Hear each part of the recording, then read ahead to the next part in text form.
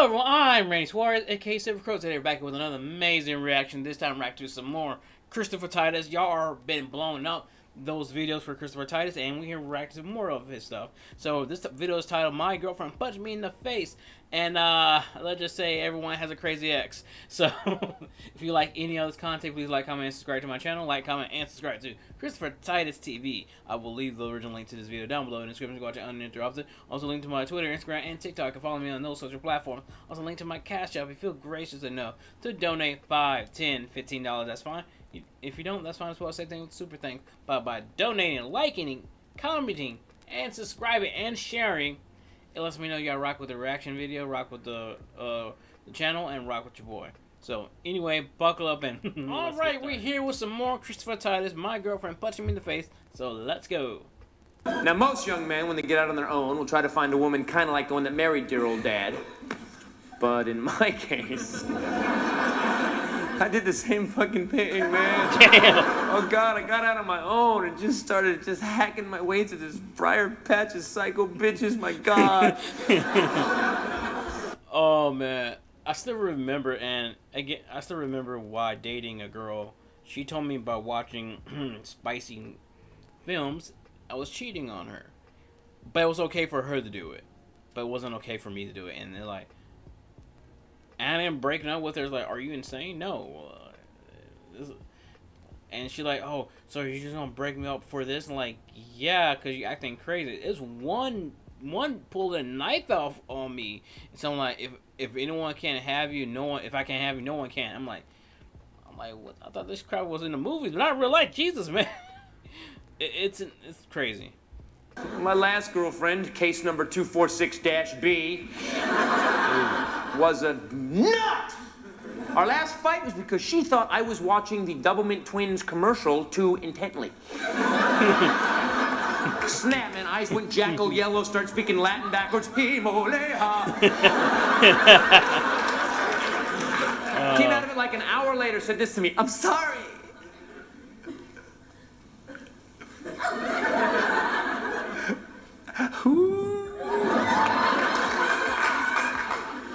I have a sugar imbalance. oh man, no, no, hell no. If it gets to the point that here's the thing, anyone can be in an abusive relationship. Doesn't matter if the if the if a man, like if a man being abused by a woman and a woman being abused by a man, if it gets to that point that he, that person is putting your hands on you, and a lot of people say, oh, you can like leave. Like, oh, that's not as much easier said than done. I don't care personally if someone's like, "Oh, I promise I won't do this again. Please come back." I have friends who went back to their abusers and come to me and ask me why did not why did not leave sooner. And I told them because you believed in the wrong person. And I'm telling them in general you believing in someone who's willing to lie, lie, gaslight, um, just just to make themselves feel good, so they can have some type of control. And I let's put it this way: I witnessed this in person for nine years a marriage that made zero sense to begin with, and this is the one, also reason why. Uh, oh, because this person also pulled a knife on my dad too uh, you know, and and Zolt, in the result of me getting cut, because when this was happening, this I was in ninth grade, and let's say, uh, dad, my dad has a crazy ex too.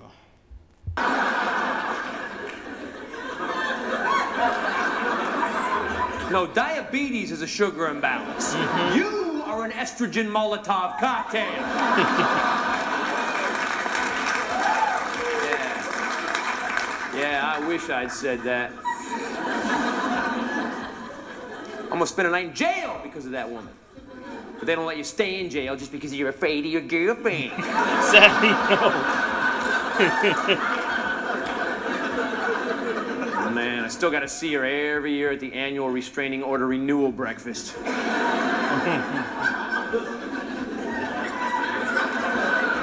see, she had a little quirk, a little glit We'd get an argument, I would present my side of the argument. Her retort would invariably be to punch me in the face. Twas a sugar imbalance. And people who always make make that as a what's the word for it? As an excuse. Oh, because I okay, I have I have known a few people who say, "Oh, because I was this way, that's why I'm doing this." But you, I'm like, then you know it's wrong, but you still do it anyway because you have an excuse, and you don't want to correct that at all. Well, I don't know how to. The level of insanity of that. And I'm like, okay, it's like when someone, how can I put, put it? Someone, parent or parents left them or died and everything, they never really got over it. And some people you can never be truly over it, but you can move on so you can live a life. But using that as an excuse, it just makes you what's the word for it? Not human per se. I could but I digress. I started carrying Twix in a holster. it's two for you, none for me. Again, no one should be going through this. And the weird part is, this girl had, you know when people have a build to anger? She had no build to anger. Like, you know, so you're fighting with someone, they're getting, oh, they're getting really pissed, man. I should only piss them off a little more, then I better stop. you know?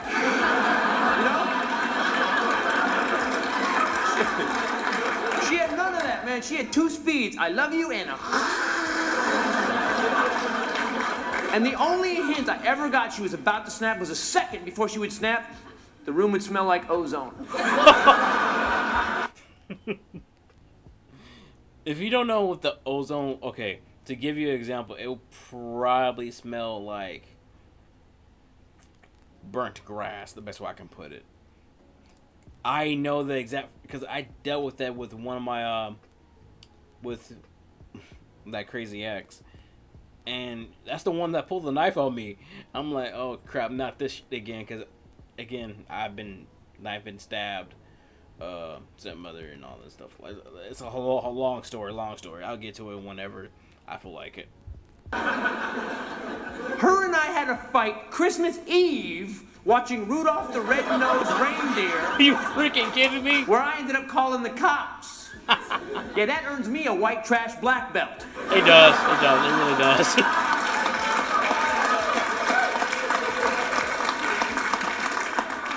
Oh man, the thing is, we didn't fight about Rudolph. We were just, you know, we were, at my dad's house. We're, we're halfway through Rudolph. We're snuggled. We got a blanket on us, an Afghan, for God's sakes.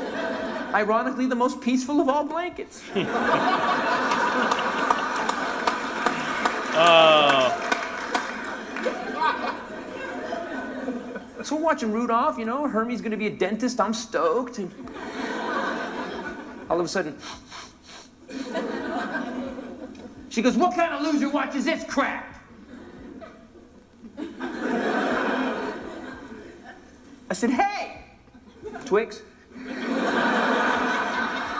Punch me in the face. So I picked up her $200 Ferragamo shoes, went to the front door, opened it, winged them across the street. Yeah, because I knew they'd get her ass out of the house. she was that kind of woman, man. Chase a designer label like a fat guy after a velour jogging suit. But I'm so afraid of the second she leaves, I start locking doors and windows like I'm Anne Frank. Oh. And how can I put this?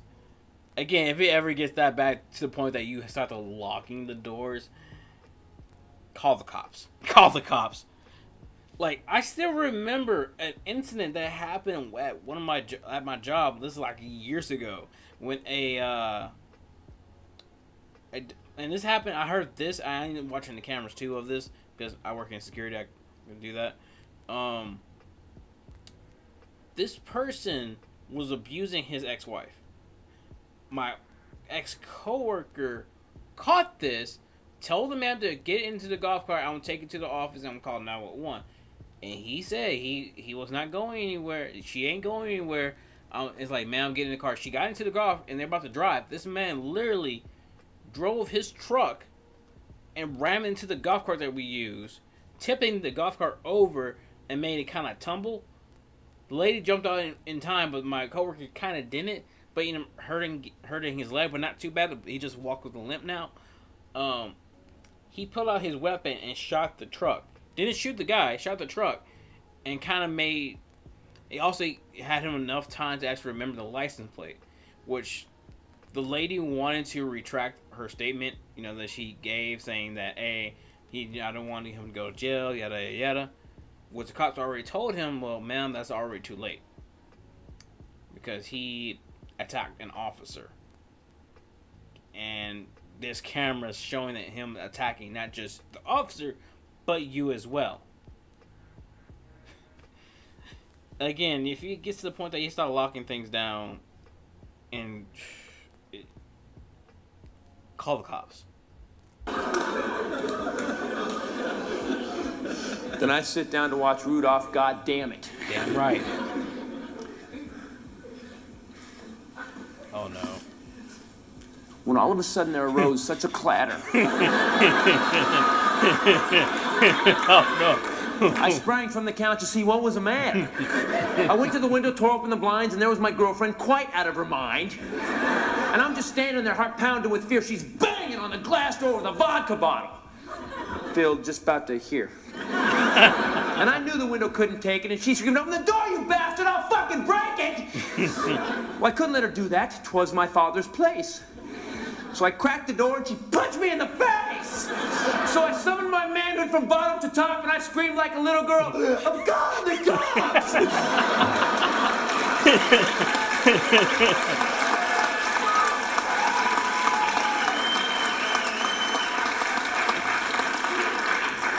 So I call 911. She grabs her stuff and bails. Now, by the way, she was a five foot, 100 pound Jewish girl, and I still haven't forgiven the Jewish people.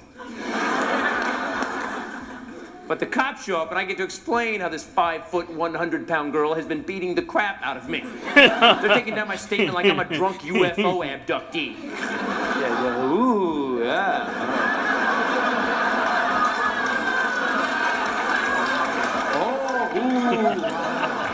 Oh, ooh. And I'm just sounding stupider and stupider. I mean, I know she's this big. She's got a hook you wouldn't believe, dude. She just fight. It's like fighting a gopher on crank, dude. She just gets in on you. Yeah, we believe you, Mr. Titus. I think we're gonna get Mulder and Scully in on this one. Yeah. I mean, they're not doing anything because Fox canceled them too.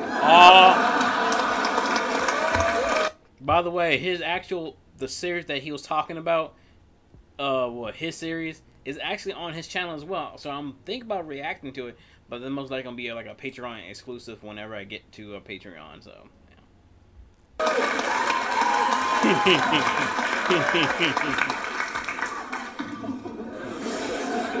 Cops leave. Phone rings. It's her.